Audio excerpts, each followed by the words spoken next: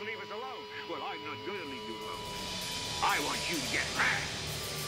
I don't want you to protest. I don't want you to ride. I don't want you to write to your congressman because I wouldn't know what to tell you to write. I don't know what to do about the depression and the inflation and the Russians and the crime in the street. All I know is that first, you've got to get